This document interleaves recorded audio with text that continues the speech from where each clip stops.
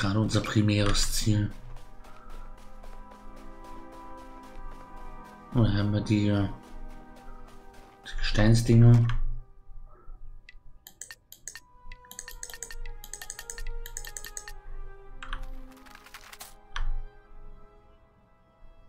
Oha. Ich glaube, mit denen sollte man, uns, sollte man nicht zusammen befreunden. Es geht jetzt hier ins Feindliche wieder rein. Wir sollten lieber bei den Füchsen. Wir müssen aber auch nicht mit allen befreundet sein. Wir sollten vielleicht das Fuchsgebiet uns aufsparen, dann haben wir dort. Wenn wir dort Freunde haben, können wir es doch bei den Füchsen niederlassen. Oder nicht? Ein Klo. Okay, sind wir am Tempel dieser, dieser Schildkröten-Dinger sind wir hier. Oha.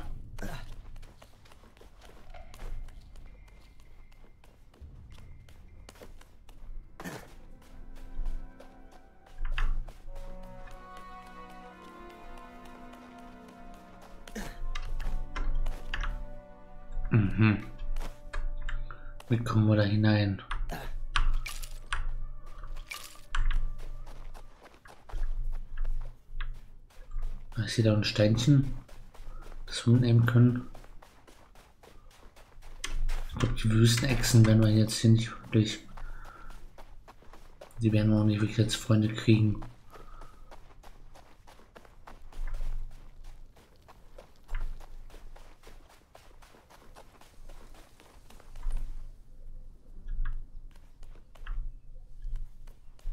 Ach, da drüben ist der Stein. Oder was? Ne, hier oben. Habe ich den gesehen.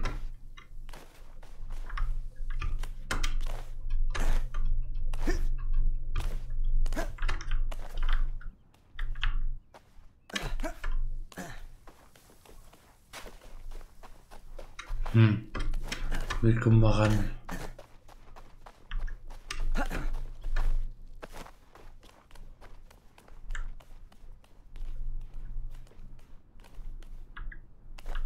So, mal ran.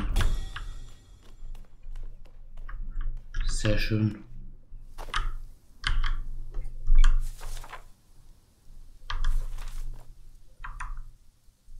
Sechs von den Kugeln haben wir.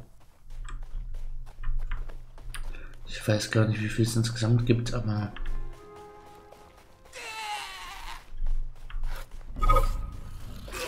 Alle noch feindselig. Wir sollten noch mal ein bisschen vorsichtig sein.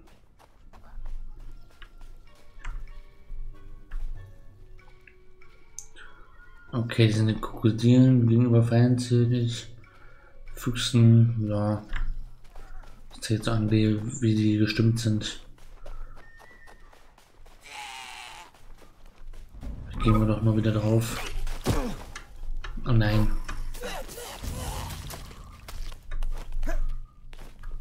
Kommen wir da lang?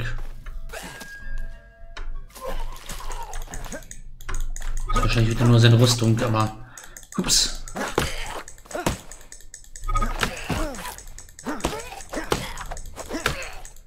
Kriegen wir wahrscheinlich alle, bevor er uns ausschaltet. Versuch es wert. Lass ihn sich nicht heilen. Ich sollte mich mal heilen lernen. Oh Mann. Okay, in den Turm werden wir wohl nicht reinkommen. Das ist schade.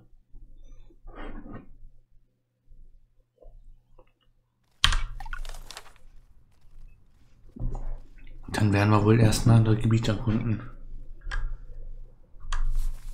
Da mal hinterm Turm noch weiterlaufen. Durchs Gewässerchen schwimmen.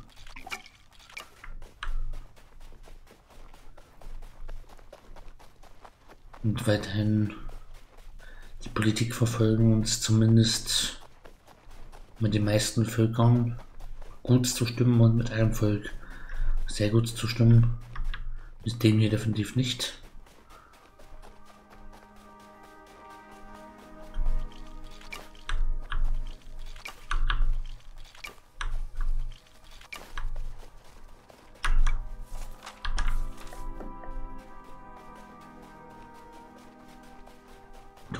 Wir durchs Wasser? Wie gut können wir schwimmen?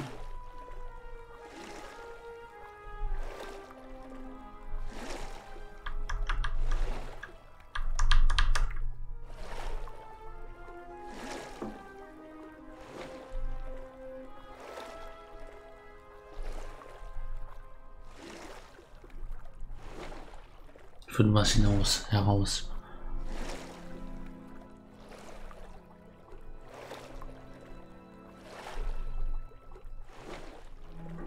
Sehr gut, äh, scheinbar.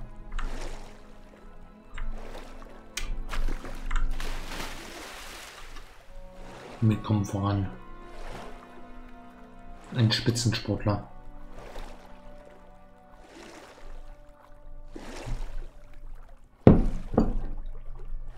Gerade mal drei Kilometer geschwommen.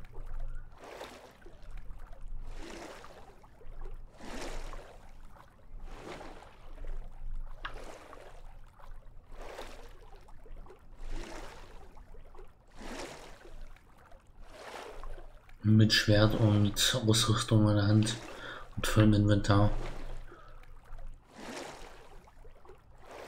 Ich habe nicht wirklich das Gefühl, dass wir hier näher kommen, aber okay.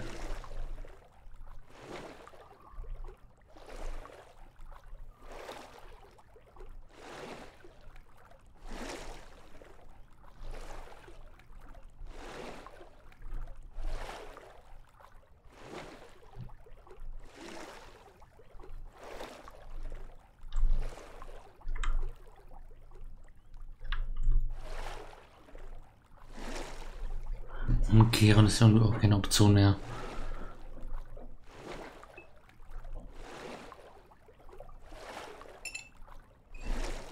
Ah ja, wir kommen näher.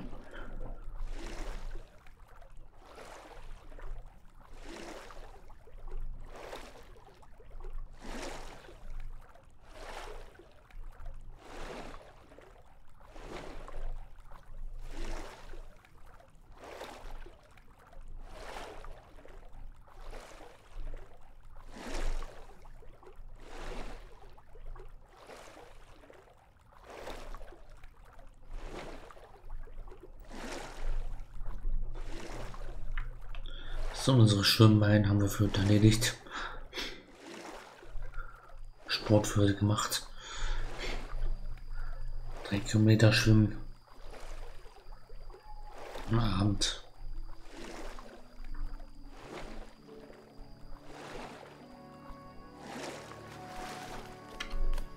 Sehr schön. Land. Von da drüben sind wir hergeschwommen. Sehr schön. Vom Turm aus.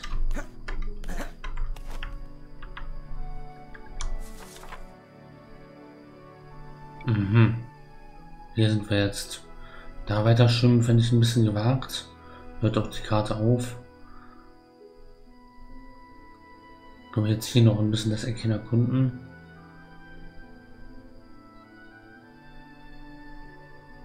Haben wir auch die Karte, das ist eigentlich die. Wenn das Eckchen jetzt noch haben, dann haben wir die Karte erkundet. Dann müssen wir jetzt nur noch wissen, wo wir den Kollegen finden. Den auf. Wahrscheinlich an der Heimat. Es steht die ersten wahrscheinlichen Schritte, das heißt wahrscheinlich der ist zwei Meter raus aus dem Dorf. Da steht der und gibt uns das Tutorial. Na dann gute Nacht.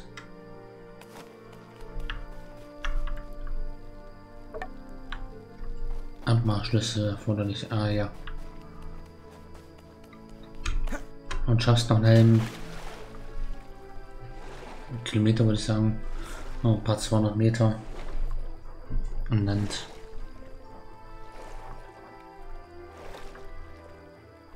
nachdem du drei Kilometer geschwommen bist.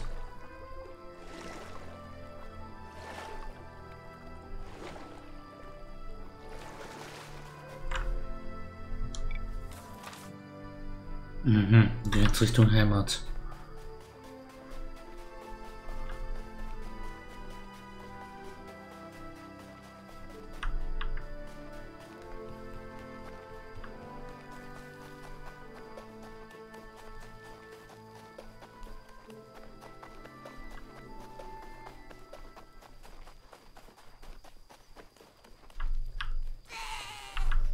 Sind die Echsen hier.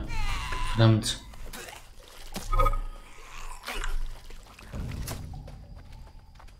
Blut, dass ich gerade nicht laufen kann. Flap, flap, flap.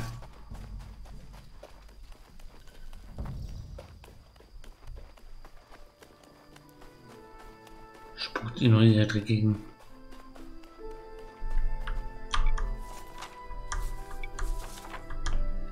Da wollte ich lang in die Richtung. Sind relativ nah an zu Hause.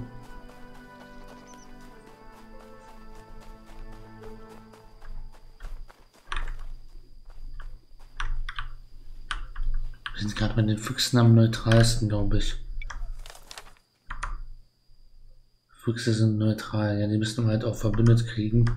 Könnte man nach Hause davon mal sagen. Ist in Ordnung. Wir können zu den Füchsen gehen. Vielleicht ist das schon die Idee der Sache.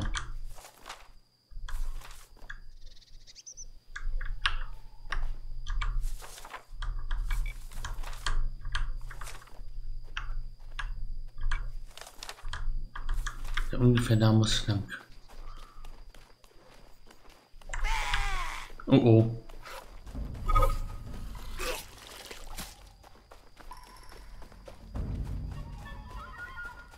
Wusste gar nicht, dass die Echsenmenschen hier so in Nähe vom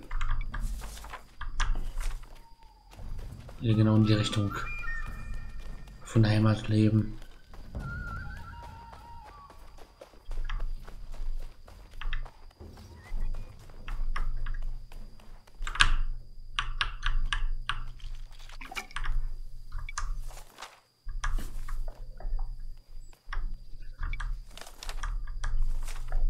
Wir an der Grenze ins Graugebiet. Autsch. Kargfelder. Ja, da ist noch ein bisschen zu erkunden. Aber vielleicht können wir dann, wenn wir, wenn wir das hier erkundet haben, alle Gebiete erkundet haben, mal, könntest du uns mal versuchen, zu dem Dorf zu der Dorfältesten hingehen, mal der, der sagen, ich habe da einen Plan. Und da können wir hingehen.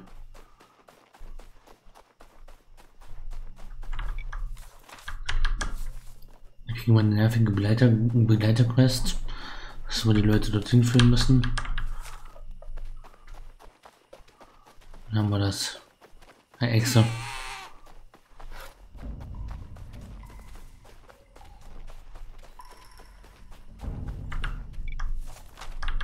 Jo, hier müssen wir lang. Oh, Pferdchen. Ne, das sind diese Mondelefanten.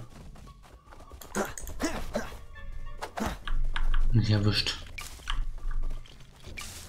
Rotwälzen. Hey. Du darfst mich nicht beim Rotweizen pflücken, ernten, stören.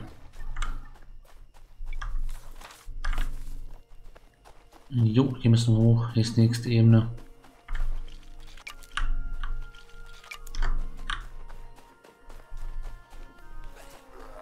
Hm, das ist gleich die nächste.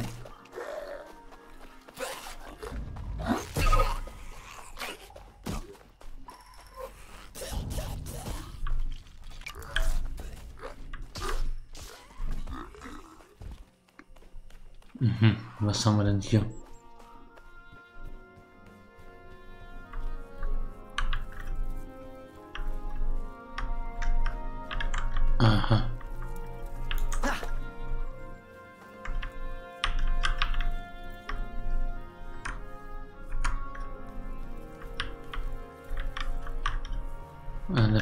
Bisschen Strom.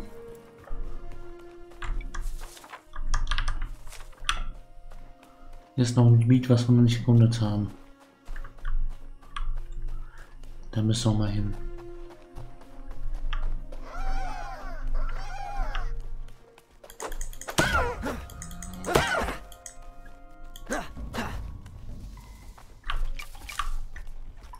Bisschen Federn. Oh nein. Elchgebiet. Und da oben müssen wir noch weit hin. Das ist noch ein Stückchen Nebel.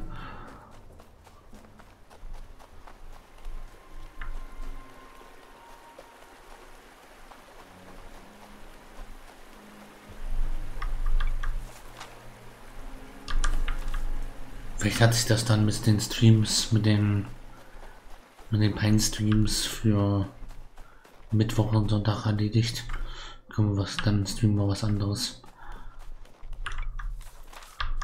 Wenn ich heute schon hier die Karte, die Karte erkundet habe. Was historiktechnisch läuft, habe ich jetzt nicht kap kapiert ganz. Okay, da müssen wir lang. Nö. Der greift uns nicht an, oder was? Wenn wir noch einen Fuchsschrein sehen. Glaube, die sind neutral hier. Ja, mit denen sind wir neutral. Den Füchsen müssen wir noch freundlich werden. Wenn wir dann Schreien sehen.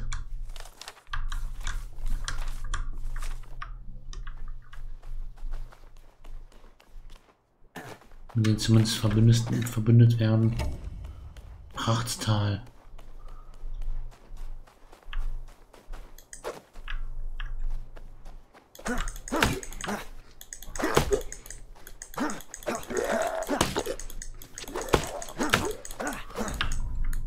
Mach Anna. Oha. Nicht die Mondkühe. Nein. Nein.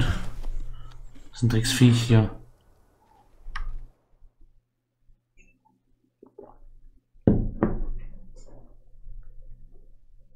Das Drecksviech hat mich erledigt. Weil ich die Mondkuh erledigt habe, statt den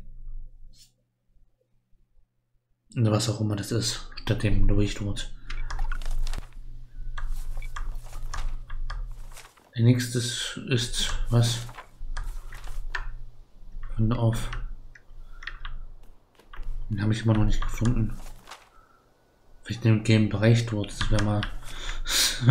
das wäre mal ein Hinweis.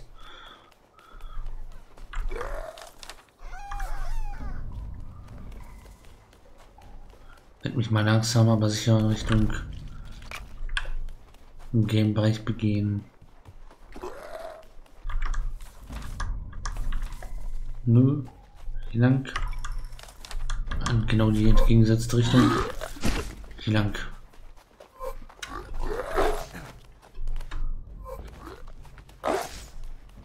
Aber ja. Was haben wir hier tolles?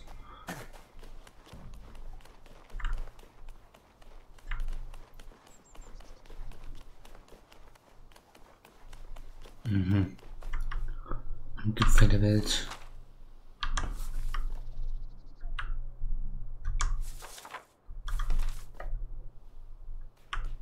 Wir hin.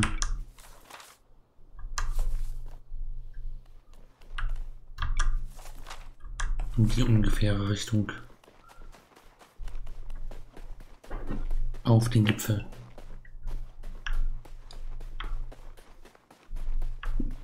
Mhm. Dann ziehe ich auf den Turm. Ja, Richtung Turm müssen wir. Die gelbe Markierung ist es.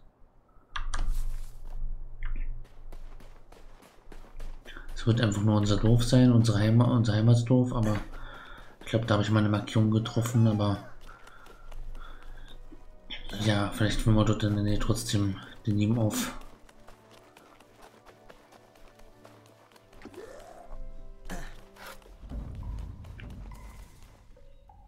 Einfach straight drauf loslaufen. Ah, Fuchsdorf.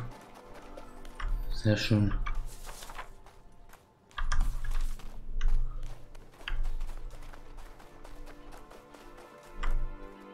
Noch einen Schrein habt.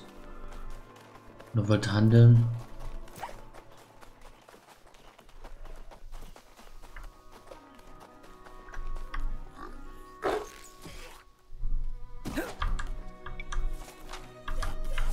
Und da muss ich weiter.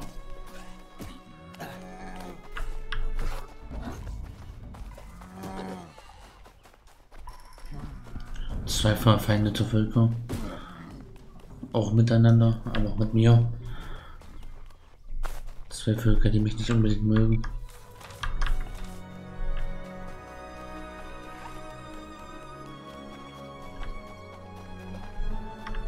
Fuchsschreien.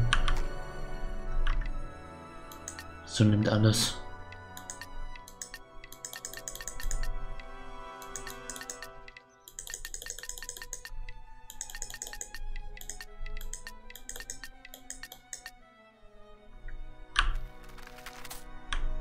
Verbündet, das ist gut. Ist die feindselig, denn, denn die Krokodile noch neutral. Ist doch in Ordnung. Damit können wir doch leben, oder? Füchse als verbündetes Volk.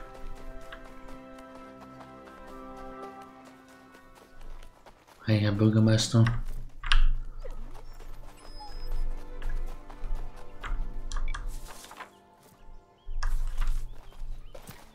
Da kommen wir gleich zum markierten Punkt.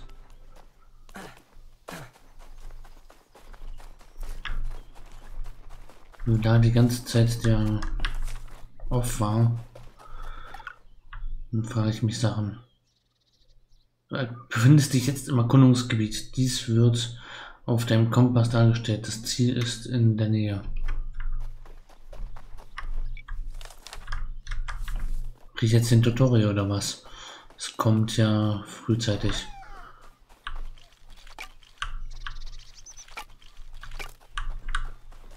Habe ich alles auf eigene Faust schon gemacht. Und da mal auf. Oder was? Das ist der Mineneingang.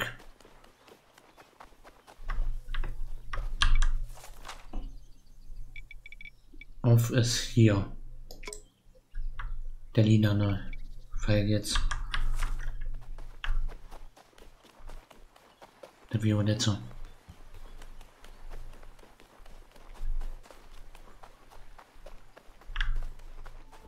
Aha. Ich sehe ihn schon. Ja, hier unten sind wir nie lang gelaufen. Hallöchen. Ach, wir sind aber früh wieder zurück. ja, ich habe mir ein bisschen Zeit gelassen. Siehst so besorgt aus, zumindest soweit ich das bei euch Menschen erkennen kann. Und was Schreckliches geschehen. Ach, liebe Zeit, schon wieder ein Erdrutsch? Aha. Wir können nicht länger auf dieser Klippe leben. Ich muss Hilfe suchen. Wir müssen umziehen. Hm, einen neuen Ort leben finden, das könnte nicht einfach werden. Auf der gibt es viele Kreaturen, die viel stärker und schlauer sind als du und ich. Naja, schlauer als du auf jeden Fall. Als die Stämme, all diese Stämme machen sich einander Territorium und Nahrung streitig. Manchmal ist das ein ziemliches Durcheinander. Genau genommen habe ich gerade erst ein paar Dörfer beobachtet, weil ich nicht mal weiß, wer dort im Moment wohnt. Könnten die Krocker, die Schmutzler oder auch die Kariblins sein. Hier in meinem, hier ist mein Vorschlag. Halte nach Behältern Ausschau, die man Spendenkästen nennt. Habe ich ja schon ganz allein geschafft. Sie werden von allen Spezies benutzt, um gefährliche Zeiten Ressourcen zu teilen und zu schenken. Wenn du in einem Dorf ein Angebot machst und diesen Dorf dann findest, könnten sie dir vielleicht reinlassen oder dir sogar helfen. Gut, ich werde was versuchen. Wie gesagt, ich habe mit all dem nur sehr wenig zu tun. Mit Hambas, wir ziehen es vor, hm, Komfort unsere Häuser zu beobachten, zu lernen und zu studieren. Ich werde es auf deiner Karte markieren, sollten wir dich jemals brauchen. Es liegt im Zentrum der Insel.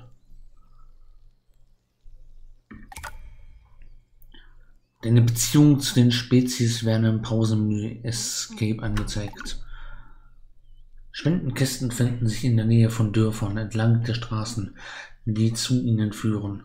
Wenn du spendest, werden die Gegenstände zum betreffenden Dorf transferiert. dies beeinflusst auch die Beziehung zu den Kreaturen dieser Art. Spendenkisten kannst du auf deiner Karte finden. Aha, das sind die Spendenkisten. Gut, das habe ich nicht gewusst. Okay, aber mit denen sind wir verbündet. Das heißt,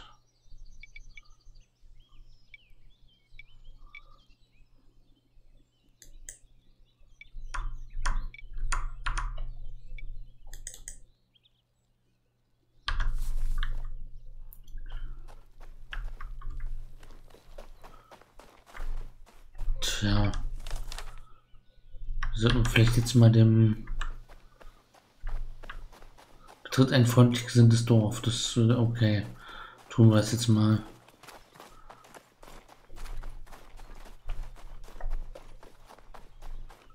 Und das schaffen jetzt in einem Fuchsdorf zu leben.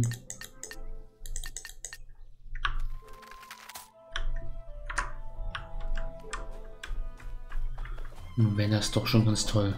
Er hat doch instinktiv schon richtig gemacht.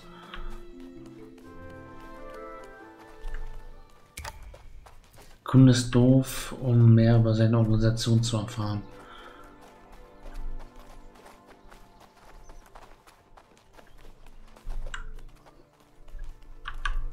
Können wir jetzt mit ihm reden? Ist ja toll. Also das ist doch Spielen mit mir meine Augen ein Streich, ein Mensch in Fleisch und Blut. Vergib mir die Äußerung meiner Fassungslosigkeit, aber seit Jahrzehnten hat auf dieser Insel niemand mehr einen Menschen zu Gesicht bekommen. Nennt man dich denn Jüngling? Ich heiße Hugh und ich bin, ich komme von der Zu, den Wackelklippen. Mein Stamm kann dort nicht länger leben, also bin ich auf der Suche nach einem Zufluchtsort. Ich habe einem Dorf etwas gespendet, in der Hoffnung auf Hilfe. Bah, dass ich das noch erleben darf. So, ich bewundere deine Tapferkeit. Aber ein Ort zum Leben. Ich fürchte, das liegt nicht in meinem Interesse. Ich habe genügend hungrige Mörder zu stopfen, wie alle anderen auf der Insel.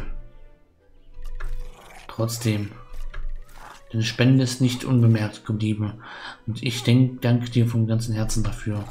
Nicht jeder wird aber meiner friedlichen Interesse an den Menschen teilen und du wirkst für diese wohl beschwerliche Aufgabe zu erschöpft und noch dazu unvorbereitet.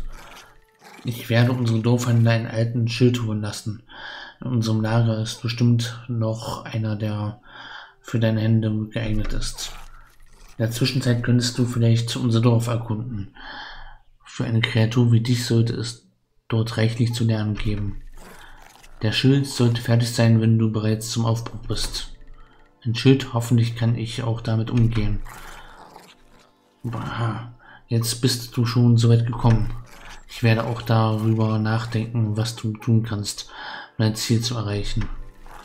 Es ist höchste Zeit, dass mal jemand etwa äh, oder etwas ein bisschen Leben im Alltagstrott von Alabama bringt. Baha. Komm wieder zu mir, wenn du dein, Schild erhalten hast. Aha, okay. Vielleicht nur noch eine Mission erfüllen, dann lassen die, dann sitzt halt irgendwie die Story. Können wir vielleicht hier leben. Ich würde schon bei den Füchsen leben, das, das ist schon eine, schon eine Sache, die ich mir vorstellen kann hier im Spiel. So, wo war noch gleich der Händler?